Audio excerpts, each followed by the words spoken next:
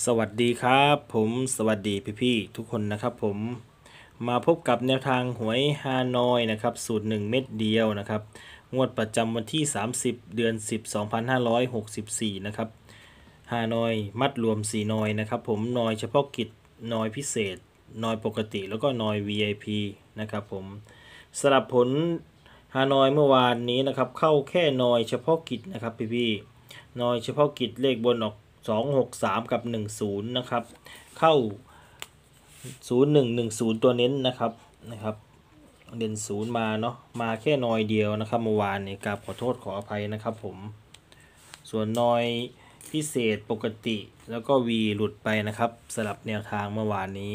นะครับผมครับผมก่อนไปรับชมแนวทางวันนี้นะครับ มีคำเตือนนะครับพี่พี่ FC เนาะ นะครับตัวเลขทุกตัวนะครับได้มาจากการคำนวณนะครับโปรดใช้วิจารณญาณในการรับชมทุกครั้ง เด็กต่ำกว่า 18 ปี ควรมีผู้ปกครองให้คำแนะนำนะครับผมสลับตัวเด่นเม็ดเดียววันนี้นะครับ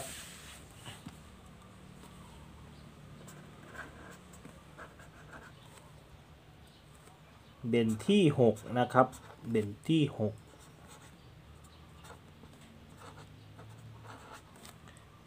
วิ่งลูดที่ 6 นะครับ สายวิ่งสายลูดนะครับผม 6 ก็จะมี 60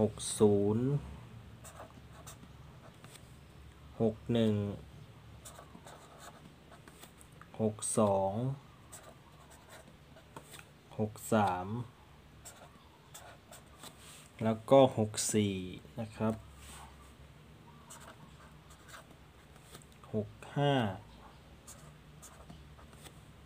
66 67 68แปดแล้วก็ 69 นะครับผม ส่วน 2 ตัวที่ชื่นชอบนะครับ ชื่นชอบส่วนตัวสีคู่ก็จะมีนะครับหกเจ็ดนะครับ หกศูนย์หกสามแล้วก็หกหกนะครับผม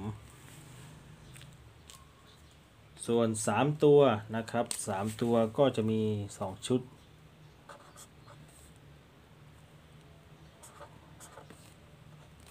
766 แล้วก็ 760 นะครับก็ลองพิจารณารับชมนะครับ ชื่นชอบค่อยเอาไปเป็นแนวทางนะครับ